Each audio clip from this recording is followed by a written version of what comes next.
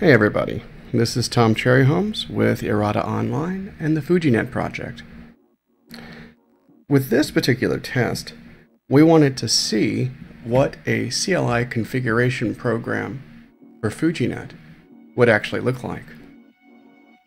Now who would need a CLI configuration program?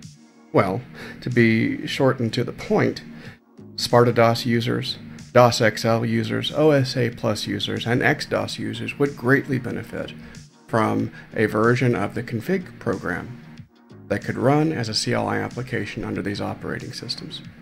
So we started to think about how this would actually work, and I've whipped together a first draft of such a program. Like usual, uh, many of these programs are written in C and CC65, and you can see the path for where this actually exists inside of the repo here. So if you go to ESP32 tests multilayer rev2 atari-sdx, you will find the same source code as I'm showing here in this window. It's a fairly straightforward program nicely modular and shows how you can do command line processing for Atari applications as well as basic option processing and the like. And if you'd like to, feel free to take and thumb through this particular program. We'll go ahead though and show what this program is actually going to look like. And for that, we'll go over to the Atari, boot it up, and we'll see that once we're booted up, we're actually in our existing configuration program, which is located on the flash and boot sector of the, uh, of the FujiNet itself. And the same functions that are in this program are actually in the CLI version of this program as well. To demonstrate, we'll actually have a copy of SpartaDOS 3.2D sitting in drive 1, and the FujiNet configuration program sitting in drive 2. All of the rest of the drive slots will be empty. We'll go ahead and hit option to boot. And once we finish booting here, we'll be sitting inside of SpartaDOS 3.2D. Since this uses any uh, uses the standard that was set down by OSS for OSA Plus and DOS XL, it will work with a multitude of different command line DOSes which espouse this standard including Sparta-DOS and Sparta-DOS-X and XDOS, and BW-DOS, etc., etc., RealDOS, etc. If we go to drive 2, we will see our FNC program, and it's, you know, roughly 60 sectors right now. I haven't done any squishing or optimizing. We just wanted to see how well this program would actually work. So to speed things up a bit, I'm actually going to start up a RAM disk and assign it as drive 8. For this machine, 512k RAM disk is sufficient, just fine. And we'll copy fnc.com to the RAM disk, just to speed things up and make it faster. We go to the RAM disk and we run the program. And we'll see here that if we run the program without any options, it will show us the options that it can take.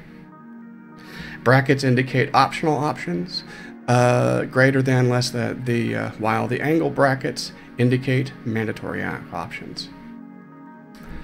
You'll see that we have functions for setting the network, for mounting, AT mounting and ejecting uh, ATRs in device slots, for setting host names in host slots, as well as uh, listing the values in host slots, listing device slots, and listing files that are on a particular host slot.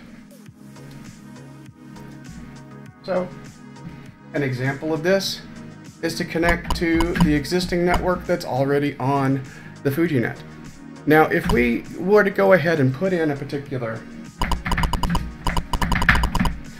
SSID and password, it would immediately attempt to connect and give either an OK or no, I wasn't able to connect. But if we don't provide any of that and just keep it the options blank, it will try to connect to the, to the last network it successfully connected to. We can see right there, BAM came back almost immediately. And from this point on, we can start issuing out network commands. Let's start by looking and see what we have as far as our host slots. Host slots are example like a speed dial directory for TNFS servers. And if you want to access any files on TNS server, TNFS servers, you need to have something in a host slot. We'll see that we have right here uh, fujinet.online, tnfs.atari8bit.net, and Irata Online in host slots 1, 2, and 3. Conversely, we can also look at device slots to see which disk images are mounted to a particular virtual device and how they're mounted in the first place. We can see right here that we have Sparta-DOS 3.2D and FNC.ATR, and that they are mounted from the same host slot, in this case 3, which is irata.online, and they're mounted read-only. We can also look at the files on a particular host slot. Once we do that, we'll get a particular uh, we'll get a particular disk directory here. At least we're supposed to, if it will let us. Looks like we've got bugs here. Let me see if everything's still okay.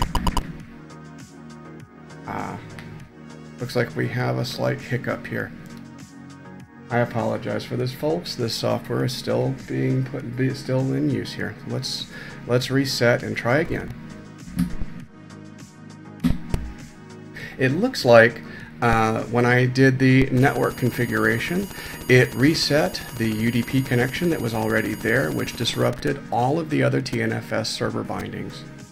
So that looks like it's a bug I'm going to have to fix. No big deal, I'll just remount everything on a network change. We'll go ahead and reboot.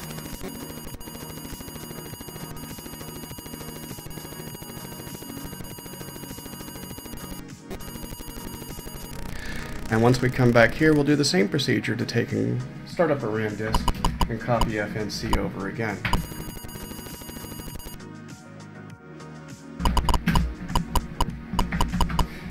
Recall that we have FNC mounted to drive 2, so we'll make a quick copy over to drive 8.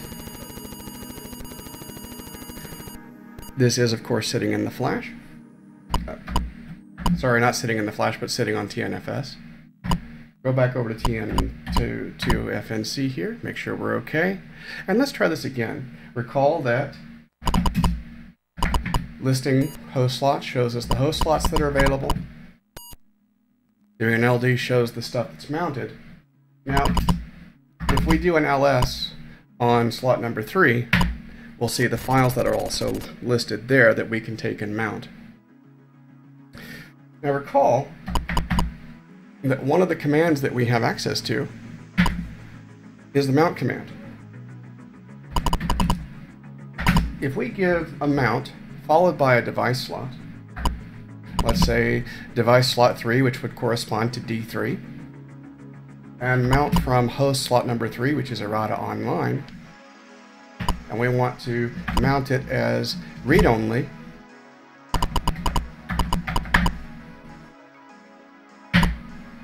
Oops, sorry.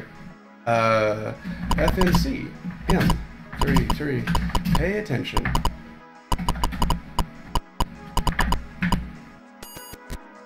We'll see that the mount has been done, and if we go to drive 3 here,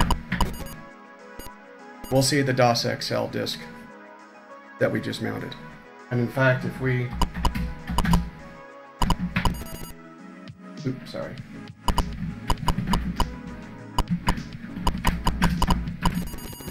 do a device slot list here, we will actually see, and since I loaded this from drive 2, it's pulling that back, so we can actually see OSA Plus mounted here. We can, of course, I'll go to the RAM disk copy here, eject what's in device slot 3,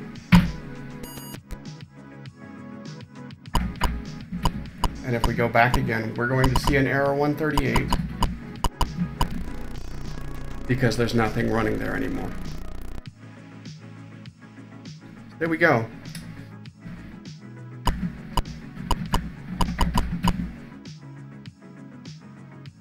We also have the ability to take and add and remove host slots as well.